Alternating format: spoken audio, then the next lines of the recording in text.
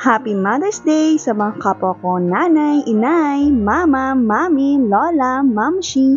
Kaya naman, for today's video, 50 na nanay ang ating papasayahin sa munting regalo na ibibigay natin sa kanila.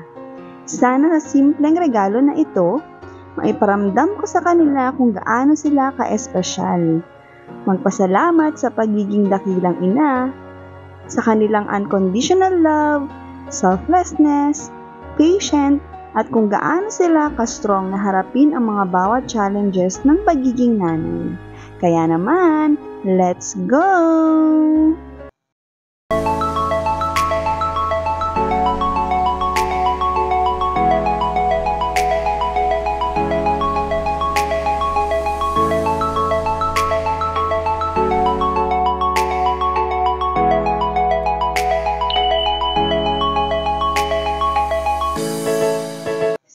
Ago, nag-iisip na ako kung ano yung pwede kong maibigay na simpleng token lang sa mga nanay.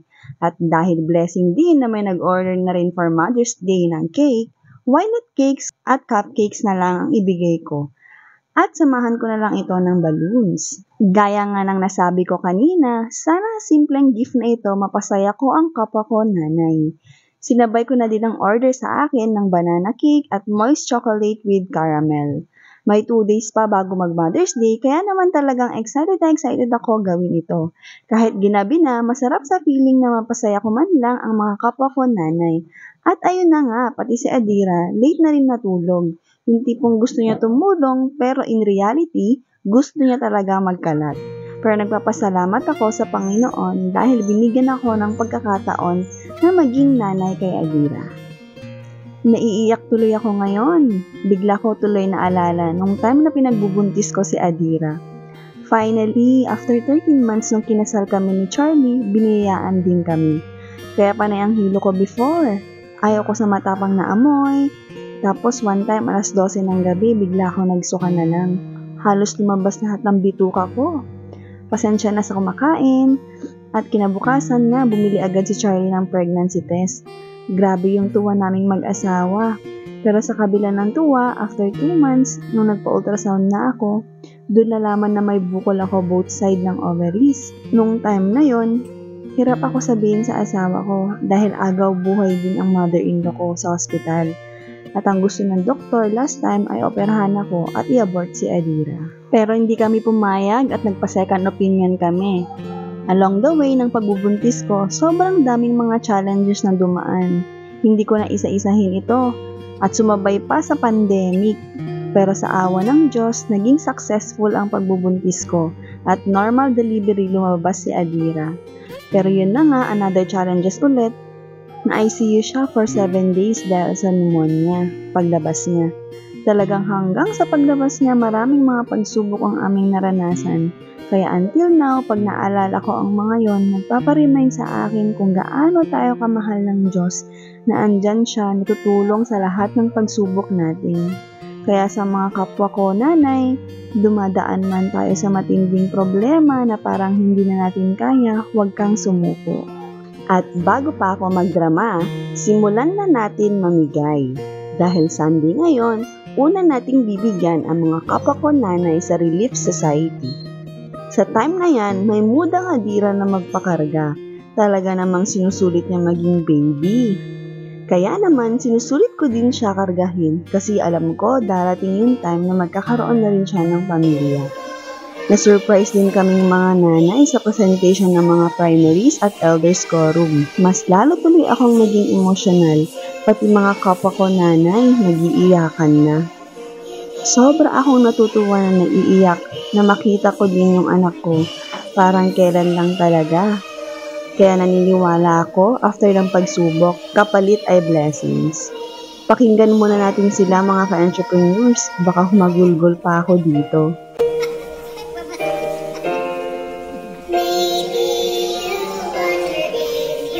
亲近。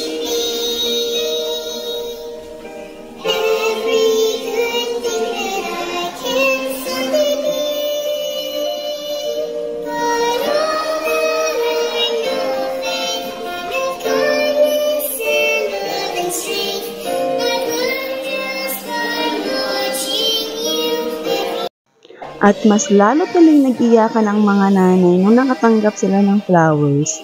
Sino ba naman ang may iyak?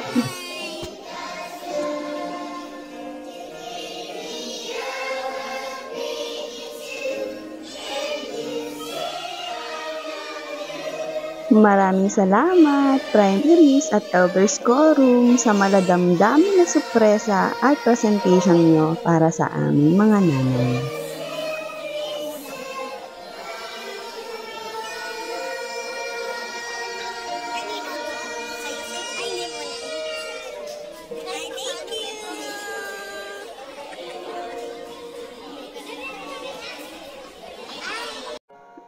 Ayun na nga, after ng church service, nag-start na rin kami mag-deliver ng mga orders and at the same time mamigay ng mga regalo para sa mga nanay.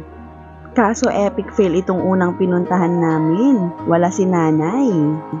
Sa time na ito, nararamdaman ko na yung pagod dahil 2 days na wala akong maayos na tulog. Sobrang init, pero baliwala sa akin yun. Dahil gusto ko maiparamdam man lang sa munting regalo na ito yung appreciation ko sa mga tulad kong nanay na hindi sumuko despite sa mga pagsubok na pinagdadaanan nila. Talagang ang pagiging nanay, napaka-challenging yan. Gawaing bahay pa lang, sobrang nakakapagod mo. Pero sa kabila ng lahat ng pagsubok, gaya ng sinabi ko kanina, huwag na huwag mong kakalimutan magdasal. Sabihin mo lahat sa kanya yung mga pinagdadaanan mo, mga worries mo, lahat ng kinakatakutan mo, lahat ng nagpapadepress sa'yo. Andyan lang siya handang makinig at tulungan ka sa anumang problema yung na-experience mo sa ngayon. Hindi naman tayo dadaan sa pagsubok na hindi natin kaya. Alam ng Diyos na makakayanan natin ito. Ganun yung tiwala niya sa atin malalagpasan natin ito, kaya magtiwala din tayo sa Kanya. Trust the process. Magbubunga at magbubunga din ang lahat ng pinaghirapan at pinagdadaanan natin sa ngayon. Huwag mo madaliin. In God's perfect timing and will, mangyayari at matutupad din yung pinapangarap mo. Masasabi mo na lang, Hi, thank you Lord, dahil sa pagsubok na to, mas naging strong ako. Pagka uwi namin, ginawa ko agad yung grocery cake tower ni Mama. Sa araw na ito, dire-diretso ako, parang yung pag-ihilang ang pahinga. Pero okay lang, makita ko lang yung mga ngiti ni Mama at mga nanay, masayang masaya na ako. Alam ko, maliit lang na halaga ito, pero alam ko darating yung panahon na ako naman ang babawi sa iyo mo, sa lahat ng sakripisyo mo at pagmamahal sa amin. Lalo na, 6 years na ang nakalipas simula nung nawala si Papa. Ikaw na yung tumayong tatay at nanay sa amin.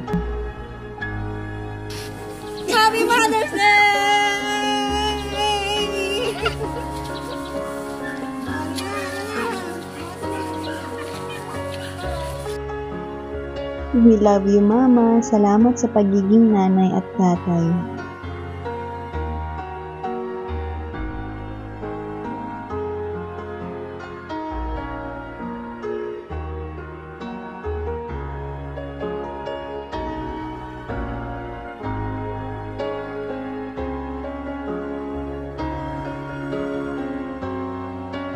At syempre, hindi mawawala yung pabulaklak ni Adira. Nga yan eh.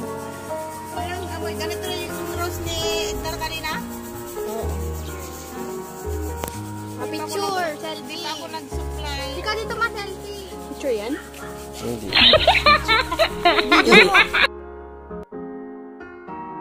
Ma, anong masasabi mo? Thank you sa regalo niyo, mga anak ko. Sana long life pa ako para ano... Oo.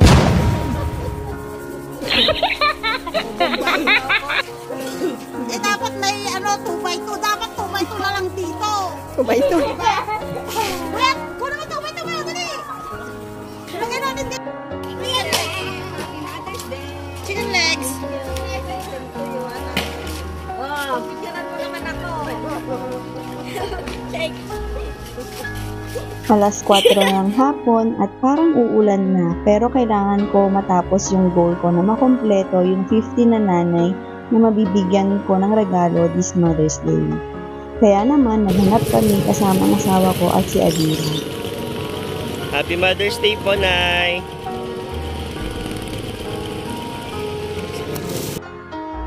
Sunod namin pinuntahan si Ate Rose. Ang paninda niya ay mga tusok-tusok na fishball, kikiam, kwek-kwek at iba pa. Sobrang hangang-hanga kami sa kanya kasi sobrang sipag niya kahit pabalik-balik sa hospital at dati nang na stroke, siga pa rin sa pagtitinda. Ginagawa niya ito para sa kanyang mga anak na nag-aaral sa college.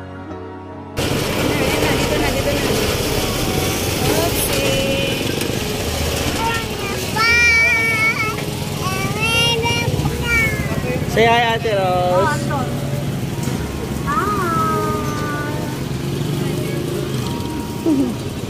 Ate, kahit anong mang mga challenges na uh, always mong tandaan.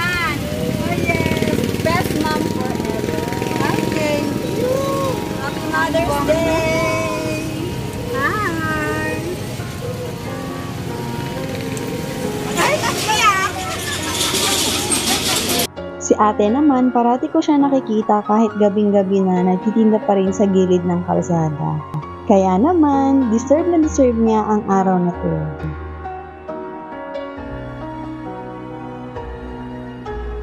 At itong susunod na nanay, sobrang sipag ni ate. Kahit sobrang tirik na tirik na sa araw at manipis na tolda lang yung sinisulungan niya, nagtsatsaga siya para sa pamilya niya.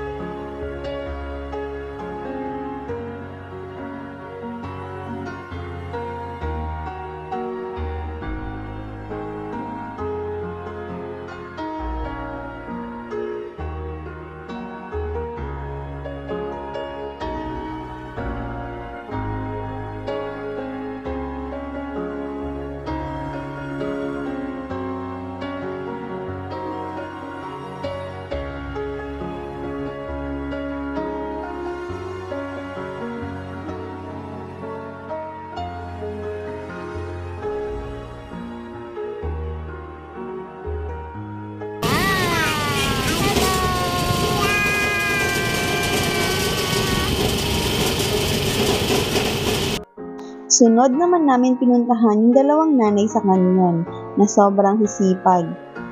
Kahit sobrang init, usok at puyat para lang makatinda. Mother's Day! Happy Mother's Day! Wala kang kasama, ate.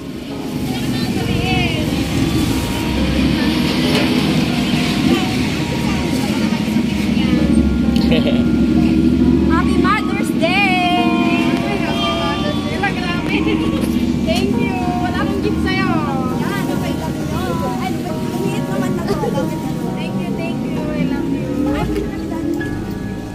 picture kayo.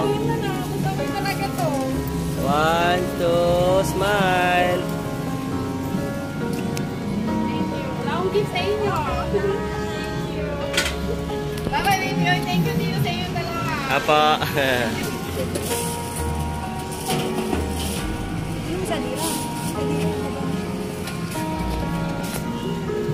Ate Alma.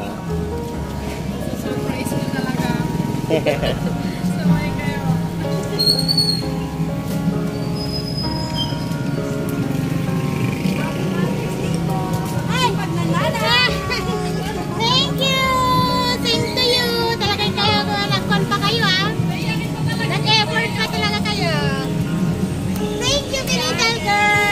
Picture pala kayo.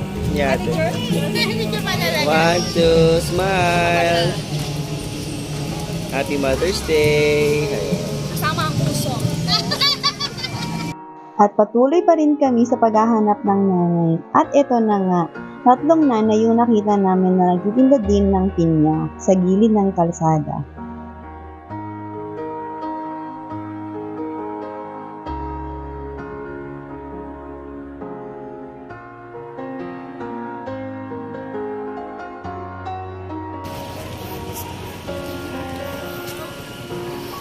Happy Mother's Day. Alin ka? Milay. Ay, ano? Ah, giveaway para nagpipagawa ka ng cake. Future mother na lang. Ah, picture. Ah, picture. Ah, picture ka, Adira. Sama ka doon. Ayaw niya. One, two, smile. Okay, Happy Mother's Day ulit. Sige po. Patawid din si nanay nung nakita namin siya. The best mom ever. Picture kayo na, picture.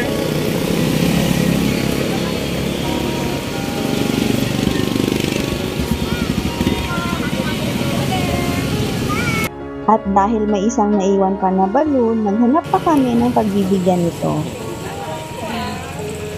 Picture kayo na. Happy Mother's Day po. okay. Happy Mother's Day po sa lahat!